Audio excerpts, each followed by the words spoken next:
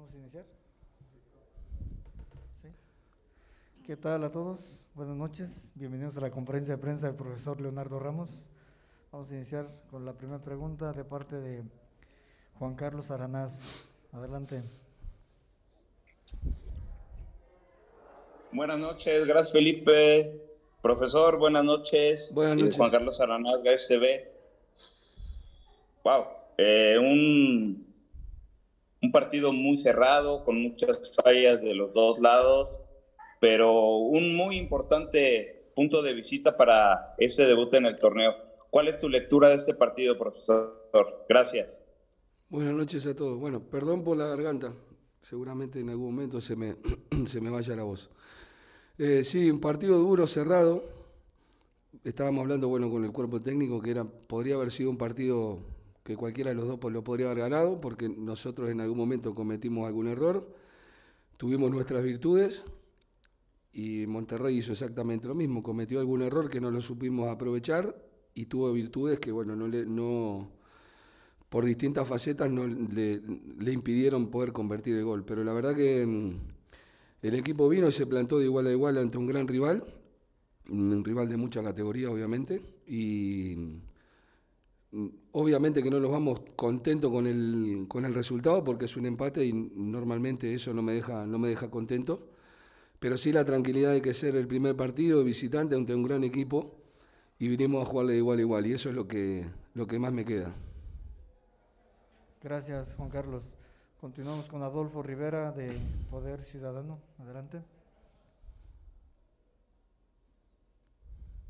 Hola, ¿qué tal Felipe? Buenas noches, profesor. Adolfo Rivera de Poder Ciudadano Radio de Querétaro. Eh, ¿Cuál es el, sabor que se lleva con este empate que obviamente es una cancha difícil, los Rayados son un equipo complicado, pero cuál sería su sabor de boca el que se lleva en este partido?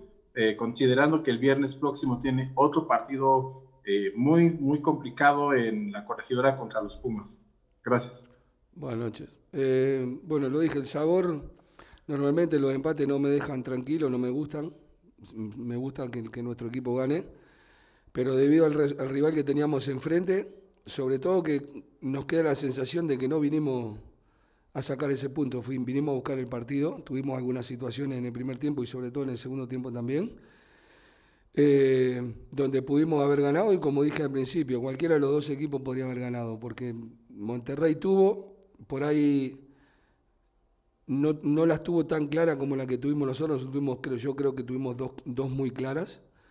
Eh, y eso, bueno, nos da la posibilidad de trabajar de otra manera, trabajar con, con más tranquilidad y no, no porque sea Monterrey y porque venga Pumas.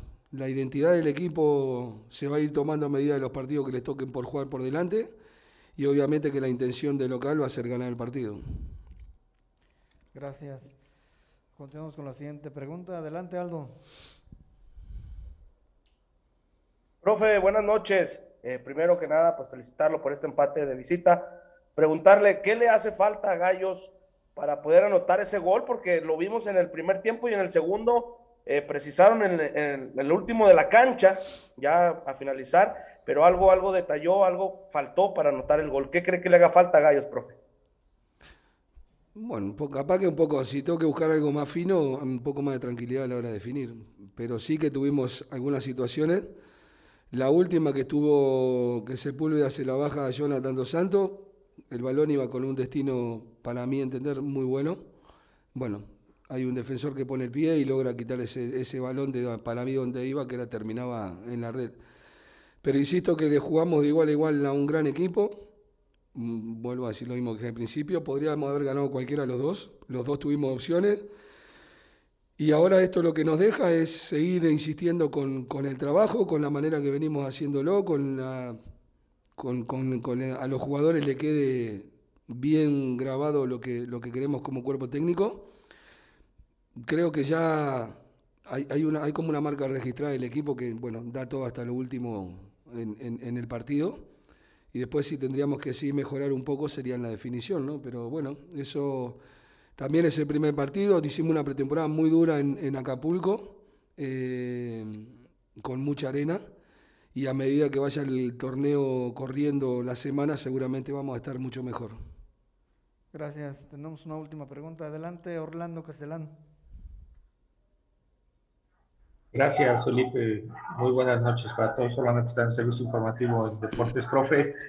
Este, hoy vimos este equipo de Querétaro ser muy propositivo y ese va a ser el lema de hoy en día de los de hacia sus jugadores, el, el plantarse en cualquier cancha y pelear de tú a tú a cualquier equipo, sea cual sea la jerarquía de, del rival enfrente que tengan ustedes, porque hoy sí mostraron un buen fútbol, igual que el equipo de Monterrey, hay que decirlo que también mostró un buen fútbol.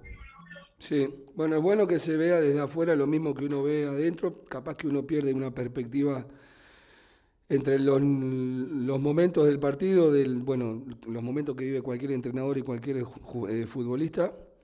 Si se vio afuera lo mismo que vimos de adentro, evidentemente fue un buen partido para la gente para que lo vea.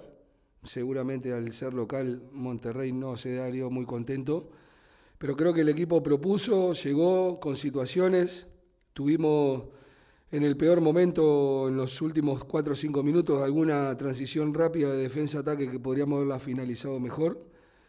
Pero sí que nos deja muy tranquilo la manera en cómo los jugadores han entendido nuestra propuesta, se adaptan a esa propuesta, se armó un plantel para adaptarlo a esa propuesta.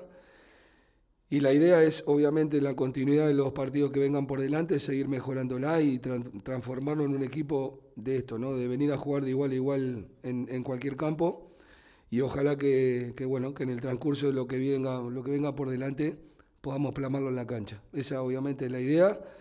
Y la verdad, bueno, felicitar a los jugadores porque hicieron un desgaste enorme ante un gran rival. Eh, los dos equipos que hicimos ganar el partido y creo que la, gente o lo que, lo que ven en el fútbol eh, me parece que se han ido muy contentos, lo han visto por televisión, han quedado contentos con lo que vieron. Terminamos la conferencia. Buenas noches, gracias por acompañarnos. Gracias, buenas noches a todos.